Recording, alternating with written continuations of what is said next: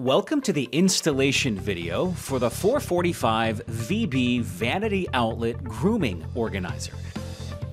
Before we begin, you'll need the following tools. A power drill with a number 2 Phillips bit and a 3 32nd inch bit. A number 2 Phillips screwdriver. A 3 8 inch wrench or nut driver. A mallet. An awl. Tape measure. Pencil. And tape. In your box, you'll find the following parts. A 445 base unit, bins, a switch ramp, number 8 by 3 quarter inch deep thread screws, number 8 by half inch panhead screws, number 6 by half inch flathead screws, number 8 32 by half inch machine screws,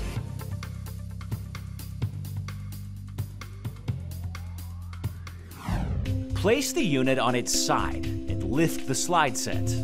Squeeze each of the release triggers to remove the slide set from the unit. Measure to find the center of your cabinet opening and gently mark with your pencil. Place the template inside the cabinet. Align the center marks of the template to the center mark of the cabinet opening and tape in place. Use an awl and mallet to mark the 11 screw hole locations. There are four holes at the front of the template and four holes in the middle. There is also a cluster of three holes at the back of the template. Pre-drill the holes using your 3 32nd inch bit. With the unit on its side, extend the chain and detach the end piece. Secure the end piece to the cabinet floor using the number 6 by half inch flathead screws.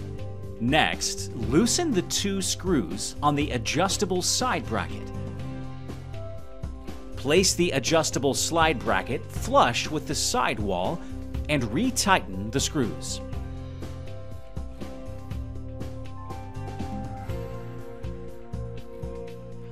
Mount the bottom of the slide set to the floor of the cabinet using the number 8 by 3 quarter inch deep thread screws.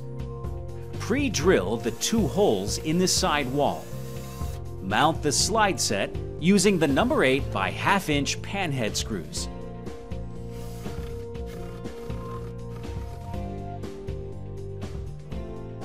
A wire clamp may be installed to an undesignated area on the back of the cabinet to help secure the cord.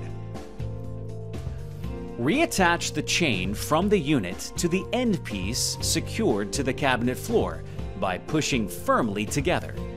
Run the cord through the wire clamp. Carefully place the units over the bottom and middle slide and engage the unit with the slide set.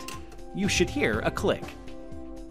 Install the switch ramp by screwing in the number 8 32 by half inch machine screws.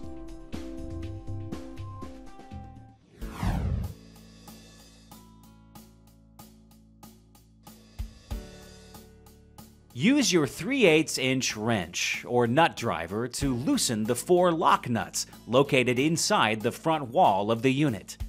Extend the adjustable mounting brackets just over the face frame's edge. Measure the distance from the bottom edge of the opening to the slotted holes and record those values. Next, measure the cabinet opening and then measure the door size. Take the difference of these two numbers and divide by 2. This number is the door overlay or inset gap. In our case, the door is larger than the opening, so we will add the door overlay to each of the slotted hole dimensions. If your door is smaller than the opening, subtract the inset gap from the slotted hole dimensions. Measuring from the bottom of the door, transfer those dimensions to the center of the thick portion of the door. Prior to pre-drilling, it's always a good idea to note the thickness of the door.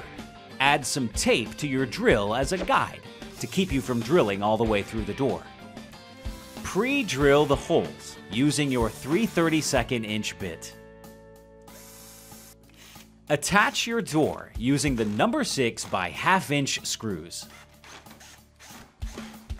Precisely adjust the door skew by sliding the adjustable mounting brackets left or right as needed.